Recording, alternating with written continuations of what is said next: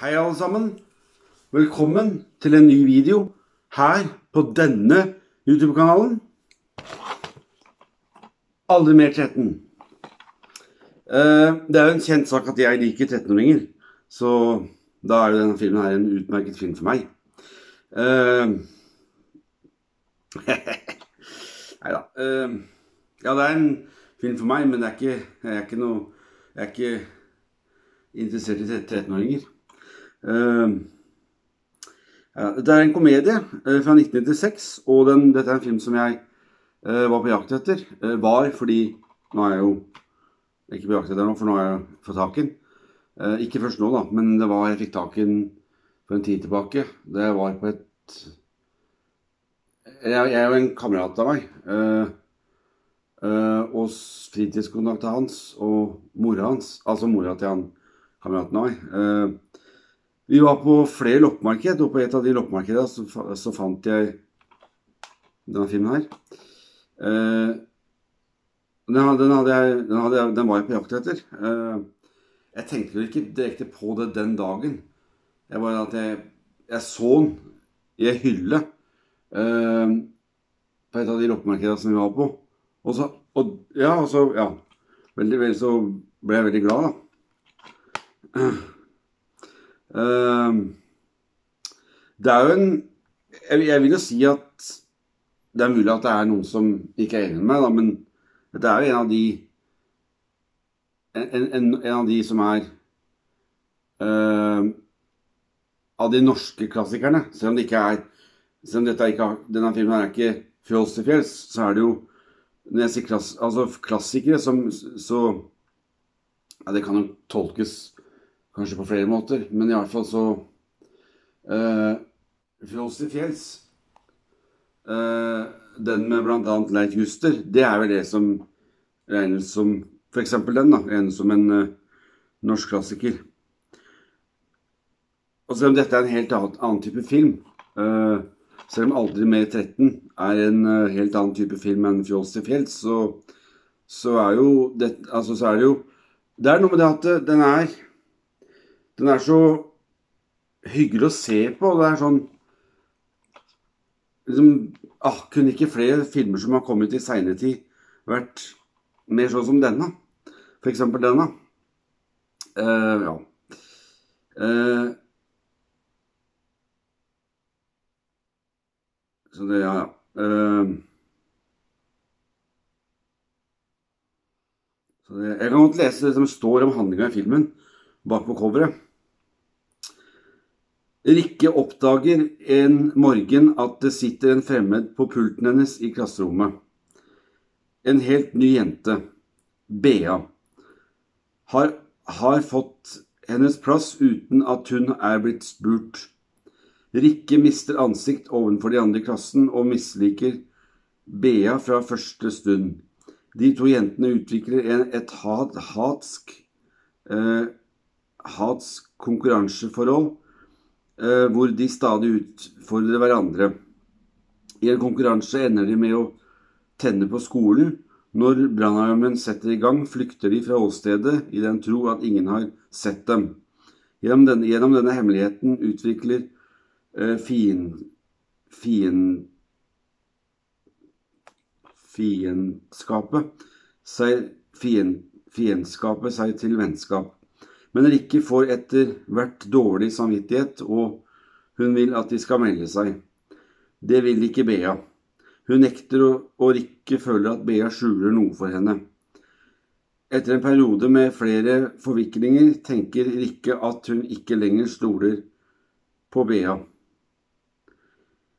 Hun føler seg avvist, og, og konkurransen er i gang, men denne gangen forandrer Rikke strategi strategi eller strategi. Eh, for, fra å være klassens guttejente gir hun, uh, gir hun nå fra seg snowboard, snowboardet til nabogutten og bruker kvinnerist i stedet.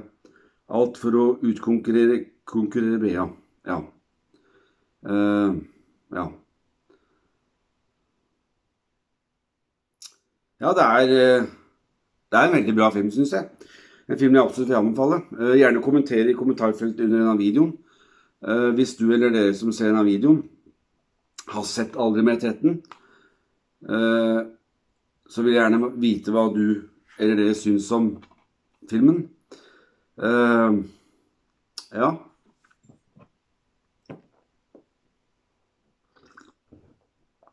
Uh,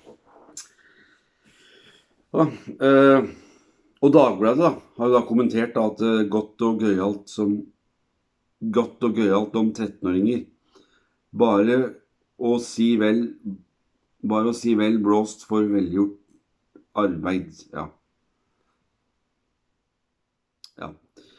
En kommentar fra Dagbladet da, som det, det, står også bak på, på, på coveret bak på coveret på denne filmen. Ja da, 'Alle med tetten'. Absolutt en film som jeg vil anbefale. Men det, altså, det er jo det er jo en sånn, det er jo tenåringsfilm, da. Så det er jo Altså Det kommer helt an på man man syns det er stas å se på, da. Hvis man har sett flere, så Og hvis man har sett flere, bare ikke akkurat denne eh, Og hvis man så, Altså, de man har sett, da Så det Altså og hvis man syns de er bra, så er ikke dermed sagt at man kommer til å synes denne er bra. Uh,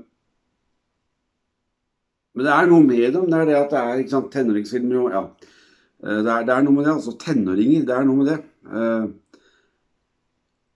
en tenåringsfilm, selv om det er langt flere, da. Men det er noe med dem, altså. Det er noe med dem og det å se dem i filmen. Og, og Sofie Cappelen, som ja, hun er vel den som har eh, Så å si Hun er vel den som har hovedrollen i denne filmen. Hun der. der. Hun har jo senere Denne, denne filmen her er fra Den kom i eh, Den kom i 1996, mener jeg. Eh, ja, ja, 1996. ja. 1996. Og seinere ikke, ikke, altså ikke seinere samme året, men seinere Altså, det var vel i 19, 1998 så starta hun Sofie Cappelen, hun der, der og spiller jo til Cæsar. Så det Det er jo ganske stas, da, selv om det er ikke noe som er så spesielt med det. Ja. Hun er jo en skuespiller, så da Men altså Sannsynligvis er dette hennes første film. Spillefilm. Eller Ja, altså, jeg vet ikke om hun jeg vet ikke om hun har spilt i flere filmer seinere. Det er jeg litt usikker på. Uh, det er jeg usikker på, men uh, Men altså, hun er jo skuespiller, da, og dette er jo da Ja, sannsynligvis hennes første film. Uh, kanskje hun har spilt i flere, det, det, det vet jeg ikke, men i hvert fall så Hennes første rolle, da, er i, er i denne filmen her. jeg tror ikke jeg tar feil. Nei. nei. Og så har jeg fortsatt karrieren sin da, i eh, Hodel Cæsar. Ja. Den tida hun er med der, da. Eh, så det, ja. Eh, fra begynnelsen til, til, slutt, til slutt. Fra hun starta å spille til den første episoden til den siste episoden. Hun hun er med. Men eh, Ja, uansett, da, så Ja. Eh, Hodel Cæsar, det går jo ikke lenger på TV. Eh, det, det gjør det jo ikke. Eh, men eh, minnene, minne er det. Så ja da. Og jeg har faktisk den Jeg har, den, jeg har, jeg har, jeg har Hotel Cæsar på DVD, en sånn boks. Da hun Sofie Cappelen er med. Så det er ganske stas, syns jeg, ja. Så det og det er veldig, men, generelt i denne filmen her så er det veldig godt skuespill generelt i denne filmen her. Det, det er det, altså. Og det er veldig, en veldig bra film, og det, ja, det, det er virkelig det, altså. Anbefaler hvis du da hvis du eller dere er av den typen, eller de, typene som liker denne en sånn denne, Altså en, en, sånn type film, da. Uh, det er jo opp til deg og dere.